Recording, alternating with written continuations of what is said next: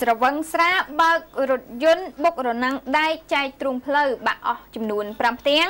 រួចជ្រុលទៅបុករថយន្តនិងម៉ូតូចំនួន1គ្រឿងទៀតបរិម្នាក់ស្រវឹងជុកជាំបានបើករថយន្តទៅបុករនាំងដែកពុះចែកទ្រូងផ្លូវបាក់អស់ជាច្រើនកំណាត់ហើយដោយមិនទាន់អស់លបឿនក៏ជ្រុលទៅបុករថយន្តមួយគ្រឿងនិងម៉ូតូមួយគ្រឿងទៀតតែសំណាងល្អមិនបង្កឲ្យនរណាម្នាក់រងរបួស ហេតុការណ៍នេះបានកើតឡើងកាលពីវេលាម៉ោង9:40នាទីយប់ថ្ងៃទី15ខែកក្កដាសមិញស្ថិតនៅតាមបណ្ដោយផ្លូវសហព័ន្ធរុស្ស៊ីស្ថិតក្នុងភូមិប៉ប្រកខាងត្បូងសង្កាត់កាកាបខណ្ឌពោធិ៍សែនជ័យ សមត្ថកិច្ចថាអ្នកបើកបររថយន្តបង្កមិនត្រូវបានស្គាល់ឈ្មោះឡើយបានបើករថយន្ត Mack Range Rover ពណ៌ខ្មៅស្លាកលេខភ្នំពេញ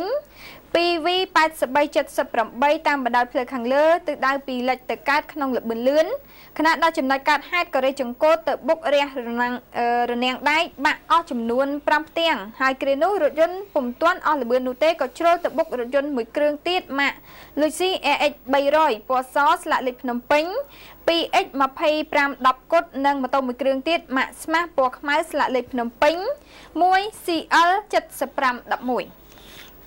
សមត្ថកិច្ចបន្តថារថយន្តបង្កបានរងការខូចខាតស្ទើរទាំងស្រុងចំណែករថយន្តនិងម៉ូតូមួយគ្រឿងទៀតគ្រាន់តែខូចខាតបន្តិចបន្តួចប៉ុណ្ណោះនិងមិនបង្កឲ្យនរណាម្នាក់រងរបួសឡើយក្រោយកាត់ហេតុរថយន្តទាំងពីរគ្រឿងនិងម៉ូតូត្រូវបានសមត្ថកិច្ចយកទៅរក្សាទុកនៅការិយាល័យចរាចរណ៍ផ្លូវគោករាជធានីភ្នំពេញដើម្បីរងចាំការដោះស្រាយគ្នាពេលក្រោយ។